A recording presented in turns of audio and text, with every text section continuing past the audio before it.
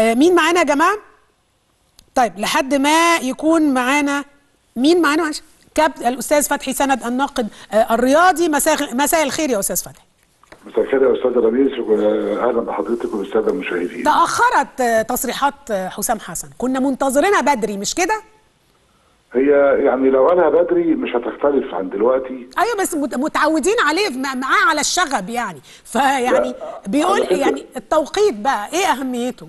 التوقيت لأن هو طبعا الدنيا كلها رايحة للأهلي والزمالك في دوري الأبطال وفي الكونفدرالية.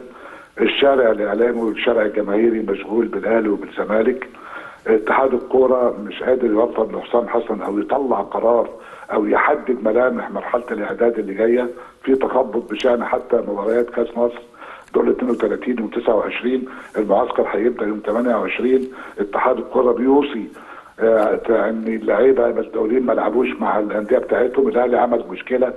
فهو في لخبطة في الموضوع فهو التوقيت ومع ذلك برضه اتحاد الكوره لسه ما حددش الموقف إيه وإزاي بيقول الأندية ما تلعبوش الدوليين الأهلي احتج وعمل له مشكلة وبعت له مذكرة طبعا بيوجه له فيها يعني اللوم الشديد. فطبعا حسام حسن أنا شايف إن هو معذور في كل الكلام اللي قاله.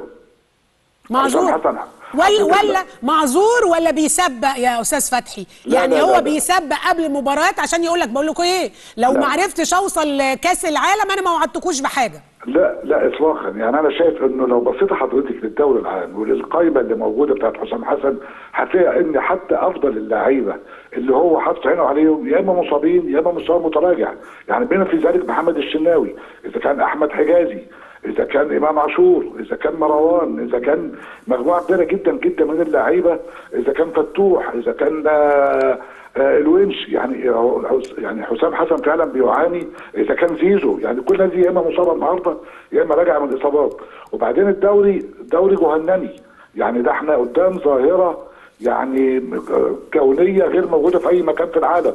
وعلى فكرة كل ما يعد الوقت قرب بداية معسكر المنتخب هتلاقي حضرتك يا إما لعيبه أساسيين بيسقطوا من الإجهاد ومن الإصابات يا إما مستواهم بيتراجع. فأنا يعني الظروف كلها النهارده ضد حسام حسن. هو ما بيسبقش لكن هو بيرصد واقع وأنا شايف إن الواقع فعلا واقع اللعيب المصري والدوري المصري واقع مؤلم جدا لأنه دوري مضغوط وفي نفس دوري غير منظم. والأهلي والزمالك في ظل هذه الأجواء مشغول في بطولتين كل الاوضاع رايحة لهم.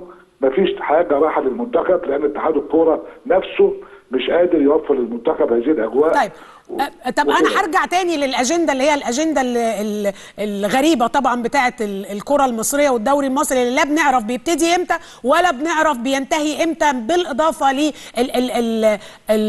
ال- ال- ال- ال- اللع- اللعب في افريقيا. بس ألاقي هو ده مش هو ده اللي بيحصل في لكل الفرق في آه، في افريقيا. لدينا أجندة إفريقية معروفة آه، سواء لدوري آه، أبطال أفريقيا أو للكونفدرالية. الأجندات دي معروفة. ليه ما يتمش تنظيم الأمور؟ خاصة انه كل الأجندات واضحة ومعروفة من قبل. حضرتك سألت سؤال أرجو أن ده يكون السؤال الأخير. جميع الدول الإفريقية عندها نفس الالتزامات الموجودة عند ال- الكرة المصرية. بما في ذلك شمال إفريقيا كلهم جزائر المغرب وتونس الدوري عندهم يكاد ماشي بانتظام شديد جدا. موزمبيق وبوركينا فاسو بقى والدول دي وجنوب إفريقيا كل الدوري فيهم زينا. لكن إحنا نظام التدليل ونظام التأجيل ونظام عدم الالتزام ويعني مسألة إن هو يعني الدوري بيتأجل كتير فالدنيا بتتكركب وبتبقى فيها نوع من آه، عدم الانتظام اللي بتتكلمي عنه. ودي مسألة يعني تخص اتحاد كرة القدم ورابطة الأندية المصرية. بس مفيش دولة في إفريقيا فيها اللي موجود عندنا في مصر.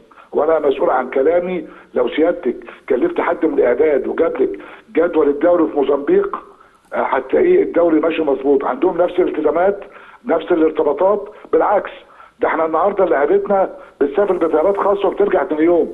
الناس دي كلها الأفارقة دول ما بيسافروش بطيارات خاصة. بيروحوا يقعدوا في المطارات بالسبع وثمان ساعات والجداول موجوده وماشية بشكل إيجابي. فإحنا قدام مواسم متلاحقة من خمس سنين فشل اتحاد الكورة واللجان المتتالية إن هي تحل وتحدد له ملامح يمشي عليها. فالنتيجة النهارده اتكركبت فوق دماغ حسام حسن.